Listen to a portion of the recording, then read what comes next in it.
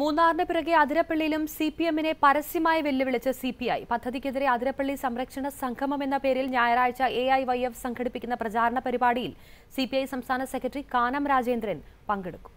അതിരപ്പള്ളി പദ്ധതിയുമായി മുന്നോട്ട് പോകാൻ സർക്കാർ ആലോചിക്കുമ്പോൾ ഇതാദ്യമായാണ് സി പി ഐ പരസ്യമായി എതിർക്കുന്ന പ്രചാരണ പരിപാടികളുമായി രംഗത്ത് വരുന്നത്.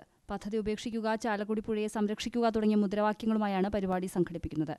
പദ്ധതിയെ തുടക്കത്തിൽ തന്നെ എതിർത്തിരുന്ന സി പി ഐ സർക്കാരിനെതിരെയും സി പി എമ്മിനെതിരെയും ഇക്കാര്യത്തിൽ പരസ്യ നിലപാട് സ്വീകരിച്ചിരുന്നെങ്കിലും പ്രചാരണ പരിപാടികൾ സംഘടിപ്പിക്കാൻ മുന്നോട്ട് വന്നിരുന്നില്ല.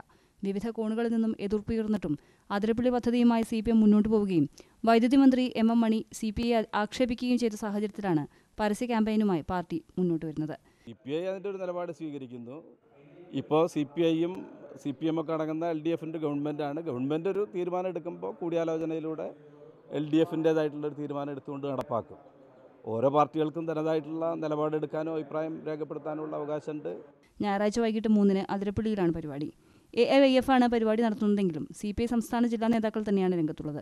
സി പി എമ്മിനെതിരെ തുറന്ന പോരാട്ടം തന്നെയാണ് പരസ്യ പ്രചാരണത്തിലൂടെ സി പി ഐ ലക്ഷ്യമിടുന്നതെന്നാണ് സൂചന. ഏഷ്യാനെറ്റ് ന്യൂസ് തൃശൂർ.